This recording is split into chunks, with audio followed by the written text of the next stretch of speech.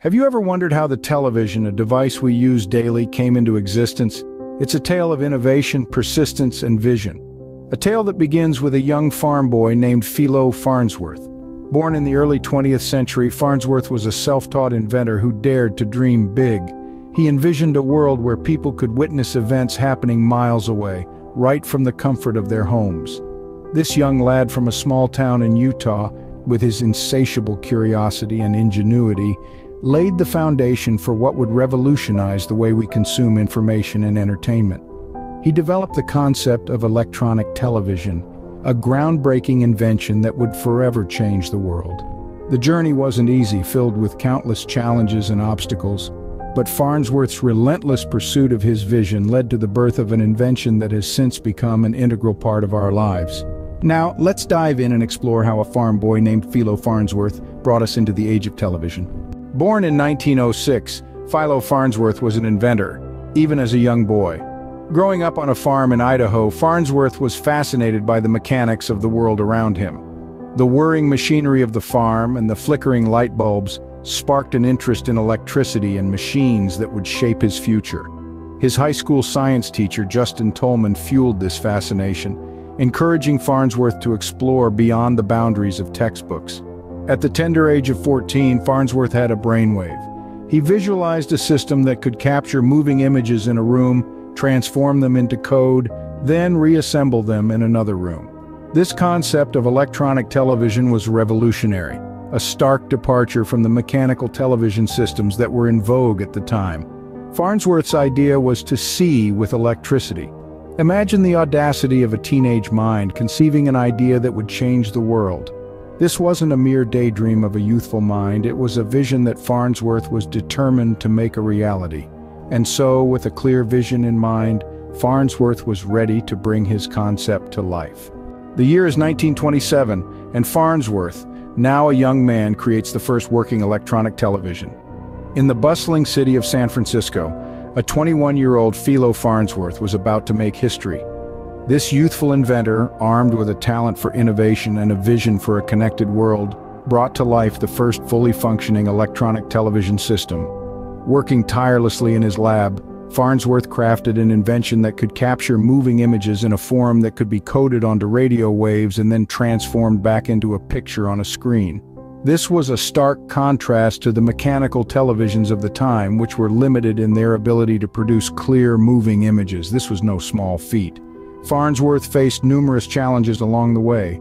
Funding for such a venture was hard to come by in the late 20s, and the young inventor often found himself strapped for cash. But his unwavering belief in his concept and his relentless determination kept him going. Then came the moment of truth.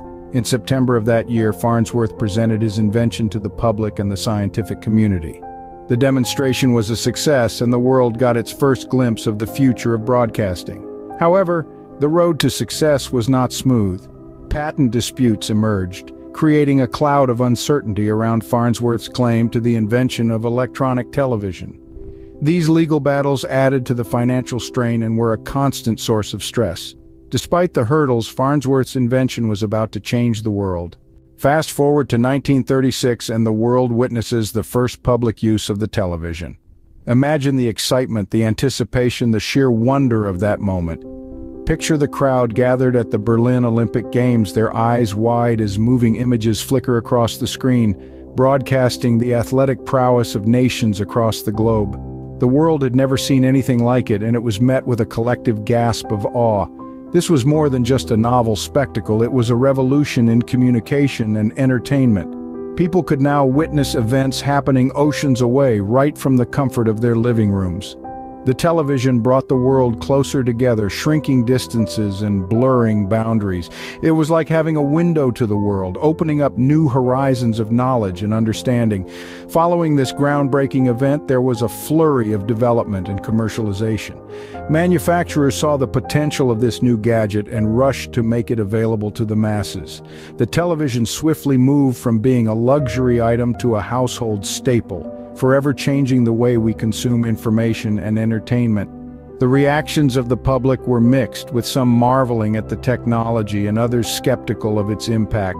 But there was no denying the fact that this was a game changer. It wasn't just about watching shows or news, it was about experiencing the world in a whole new way.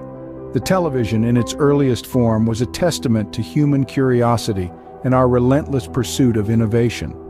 And thus, the television as we know it was born. All thanks to Philo Farnsworth.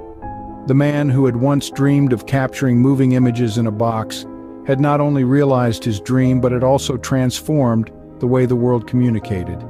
His invention, the television, was a gift to mankind, one that would continue to entertain, inform, and inspire generations to come. Philo Farnsworth's legacy extends far beyond the television. This prodigious inventor didn't stop at creating the first fully electronic television. He also made significant contributions in other areas of electronic communication. Farnsworth held over 300 patents in radio and television technology, including a method to sterilize milk using radio waves and a radar calibration system. His remarkable achievements didn't go unnoticed.